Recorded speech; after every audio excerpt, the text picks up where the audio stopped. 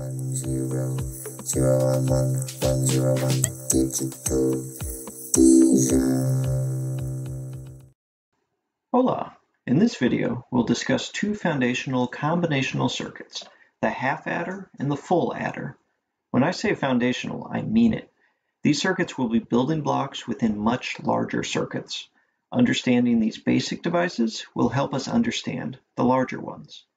Longhand addition in unsigned binary can look like this. Here we see two 4-bit numbers. In order to add them together, we work column by column from right to left.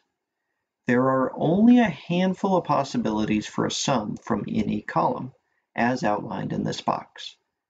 If all the inputs are zero, the output sum is 0, 0. If just one input is 1, the sum is 0, 1.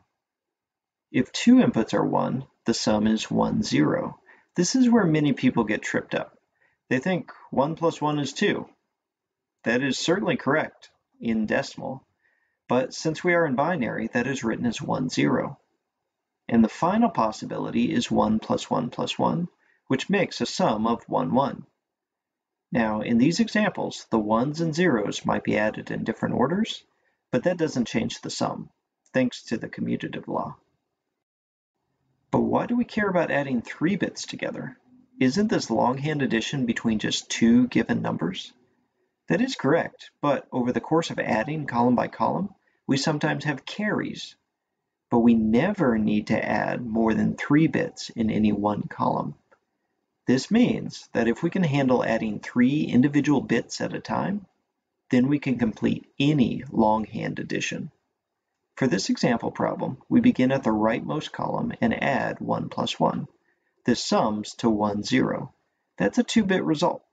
The leading bit is called the carry bit, and the trailing bit is called the sum bit. So we write the carry above the next column, and the sum bit as part of the final solution.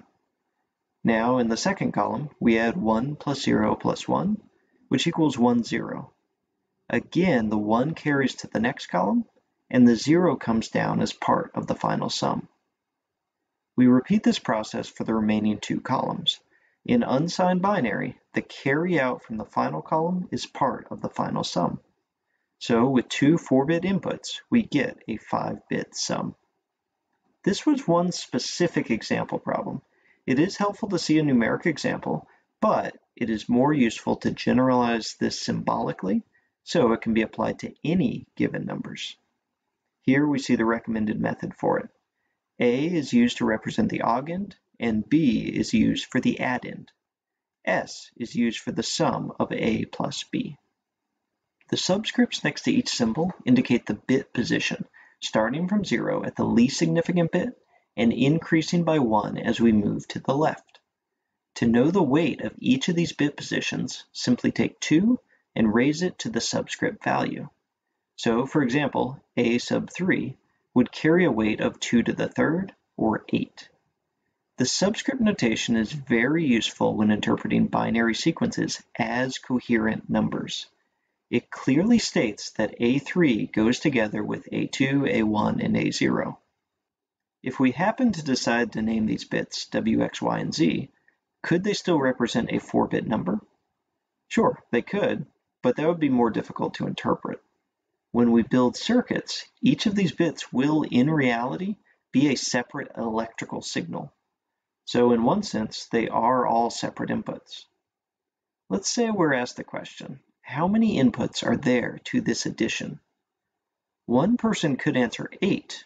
There's a 1 and a 0 and another 0 and a 1 and so on. Another person could answer 2. There are two 4-bit numbers. Both of them would be correct. As said before in this course, reading numbers is a matter of interpretation. Let's make that interpretation as simple as possible by using a notation like you see here to clearly indicate when binary values should be read as a coherent number. Now that we have established how longhand addition should work, let's build circuits to accomplish that goal. First, we'll design a half adder which can add together two bits. This can be useful for the rightmost column of addition, where there are no carry-ins, and also as a building block for larger circuits. Since we already have our purpose and variables defined, the design process moves to a truth table. The output columns were filled in manually based on what binary addition should produce. For example, in the bottom row, 1 plus 1 equals 1, 0. Now we have two output columns. Even though we interpret them as a coherent 2-bit number, they are separate logic signals, so each output variable, C and S, requires its own Boolean equation. To write the equations in SOP form, we look for the ones on the truth table and form a product term that will give us a 1 with those particular input values. The equation for C is simply C equals A and B. The only time C is true is when both A and B are true. There are two rows where S is true, which leads to the equation S equals A prime B or A B prime. Either B needs to be true or A needs to be true, but not both, in order for the output to be true. Wait a sec, that sounds just like exclusive OR logic, and indeed it is. So we can simplify the equation to just S equals A exclusive OR B. Keep an eye out for this pattern. When you see two product terms ORed together and the prime swaps variables between them, then you have the definition of exclusive OR. This will make your circuit simpler.